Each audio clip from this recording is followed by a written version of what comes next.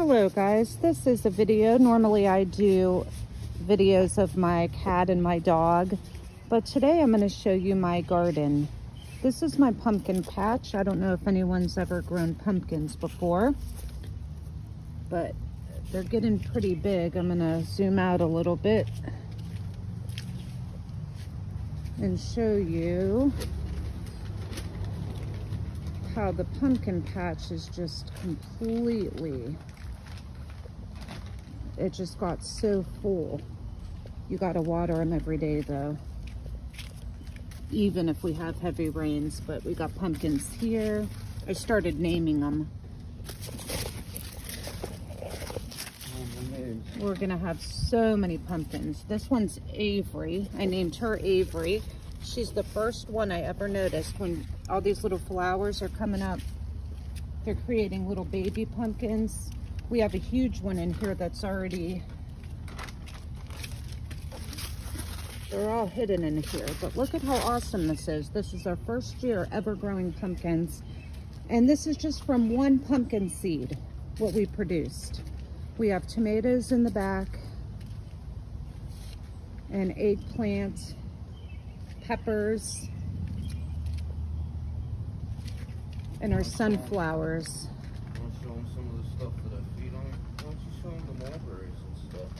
And the sunflowers are growing taller than our garage, which is ridiculous.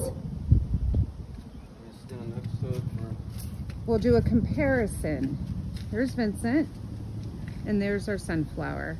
I mean, it's not record breaking or anything, but it is in the neighborhood. Nobody can I'm outgrow our sunflowers over here. I'm five foot nine. He's five foot nine, so that's about the tallest sunflower, one of our tallest sunflowers. But yeah, so this is our backyard, and I just wanted to share it with you guys. We use rabbit, we use our rabbit droppings as fertilizer. As you can you get in and get a shot of the rabbit? Oh, I don't know, honey, if I can actually get in there, but we'll see. Well, you yeah, see the rabbit pellets. We put the rat, our rabbit. This um, is from the rabbit cage. A little bit of newspaper in there. You can see all the rabbit droppings. So that's our organic fertilizer. And, and, and this is all organic as well. And then I also use a little bit. We're also growing squash, cucumbers, and cantaloupe. These are all organic. And look at how our cantaloupe is coming. And then we have a watering system built in through the buckets. We had to do this because our backyard, we have a huge oak tree and it gets no sun. So that's why everything is moved up. And then there's the oak tree back there. So as you can see, it's shading everything. But we were able to have this plentiful garden with just a little tiny strip of sun at the edge of our backyard. This and this is, is what we use. Fertilizers. One of the fertilizers. But I'm going to end this video, guys. wait, wait he wants to show you one more thing. I'm showing the mulberries. And this is our mulberries coming up. Basil. Basil. Tomatoes. Tomatoes. Strawberries. Strawberries. Oh, and we also have a huge strawberry garden in, in the front of our yard. We have uh, built-in garden beds in the front, and maybe I'll do another video with the front yard another yeah, time. But we had a, a lot of strawberries come up, and they were great everything organic.